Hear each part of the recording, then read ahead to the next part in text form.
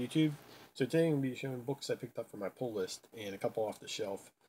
I usually don't do these kind of videos, but I want to basically try to get an idea what my pull list looks like. Just talk, basically talk to myself. so I'm inviting you for the ride.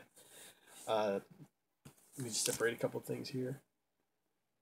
So it was a pretty late week for me. Uh, last couple weeks have been like stacks of books. So figure I'd just start in the middle of the month instead of starting the beginning of the month like normal people would. but uh, first up, I picked up Batman Annual 3.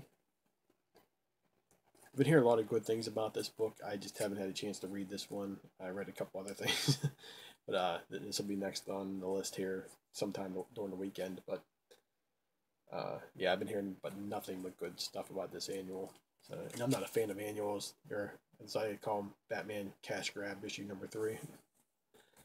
Uh, the Flash, since we're at issue 60, what I've been doing with Batman, let me show the book.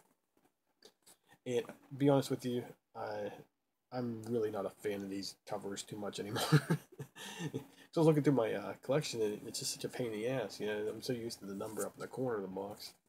Now I got, uh, know, I, I got to look down at the bottom of the book. So I mean, these are nice and all, but uh, I tried to switch them out and stuff like that. So I think I'm gonna tell the dealers I go to, the comic shop I go to, probably just uh, for now on these covers.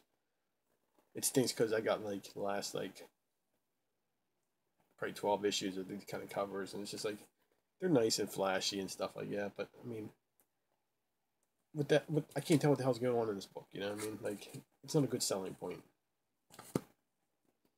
So for an update, I think I'm definitely gonna be done with the. Uh, I think they're called the Virgin covers or whatever. I mean, not really Virgin because they still got writing all over them, but I think I'm done with the variant covers for that. Uh, we'll see. I mean, if it's a nice looking book, I have the feeling that you know. I get these covers, and one of these times it's gonna be a real hot book or something, and I'm not gonna get it because I'll have like the regular cover, and then it's gonna mess me all up and stuff. Like I said, I might as well start at 61. Uh, next up, I got, um, I did read this one. It's The Batman Who Laughs. Yeah, it's a sick jock cover. I really enjoyed this. Um, I also got the uh, variant. I know I just did, went off about variants, but no, I mean, I had to get this variant too. Greg Capullo, like, killing this cover, man. It's just, like, so sick. But, uh, I did a video a couple couple months ago about how I'm burnt out on a certain character that's in this book. Uh, and I still am. But I mean, I thought it was okay. I mean, soon I flipped through like, son of a bitch, here we go again. so he's in a lot of titles right now, but uh, but it's okay. I mean, so this that's my pull list right here. Well, this too. I got Batman the Damned. Hopefully, there's. Uh, I don't know. Is there anything hot about this book? I mean, I went and bought it off the, the first issue off the shelf the first time, and I was so happy I was there the first day to get it because I, I ended up getting home and like a day later it was like you know a fifty dollar book for some reason. Well, we all know the reason, but I can't say it on the, the YouTube. but uh, but I thought this cover was really cool looking, so I'm just glad I went with the uh, the regular version here. So, and I believe there's only one more issue of this. Uh, I think that's what the shop owner I, I talked to. He said there's only going to be three of those.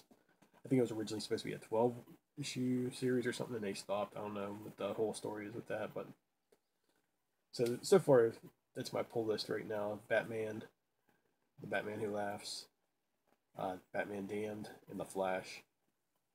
Uh, I got other titles, but I'll show them next week, of course.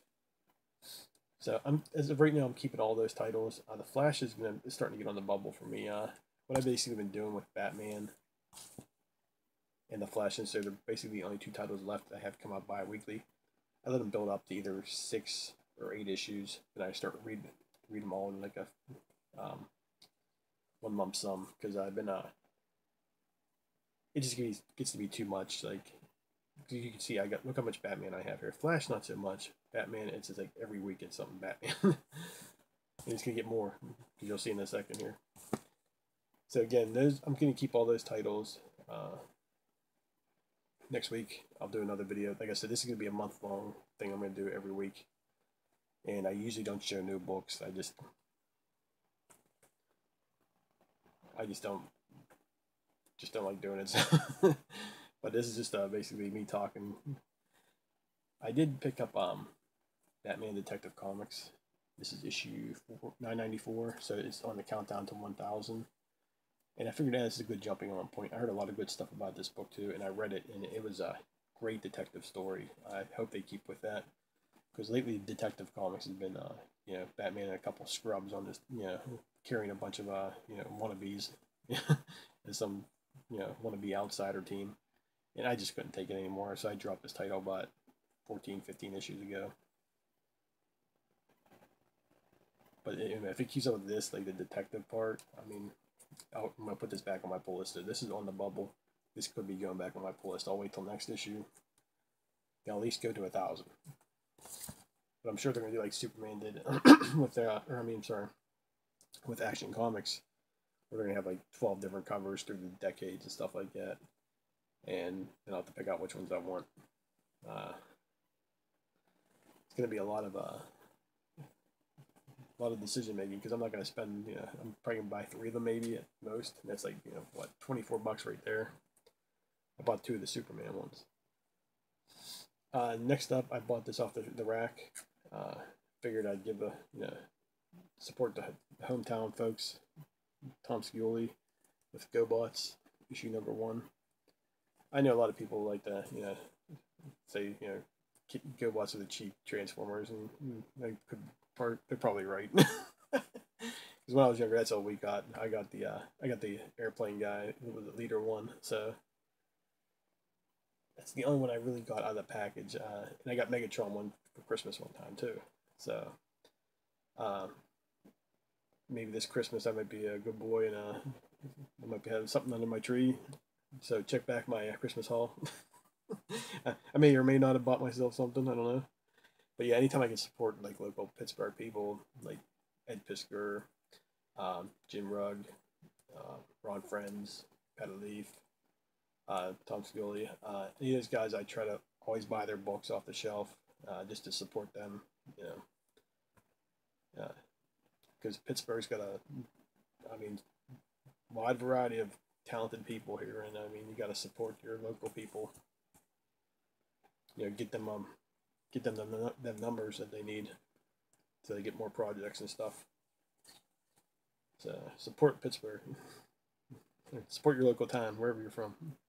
Now, the other thing I always buy off the shelf is these true believers. I don't put them on my pull list. I mean, if I can't buy them, it's fine. But uh, yeah, it's Fantastic Four, it's Dragon Man, the Super Skrull, and the Molecular Man. Molecule Man, not the Molecular Man from Conan O'Brien.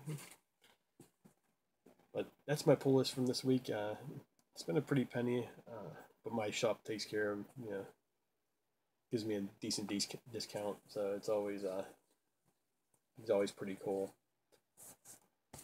But uh, again, take that possibly going back on my pull list at least for those. You know, five issues left. So, all right. Uh, thanks for watching. Uh, hope you enjoyed the video. I mean, that's why I'm not a real big fan of uh, doing reviews or anything like that. I just I don't want to review something you just read. You know, my opinion is everything in my pull list I'd buy, and you see I do buy it. So I anything I put in that list, in that pile, I mean, I recommend it. So go out and buy it now.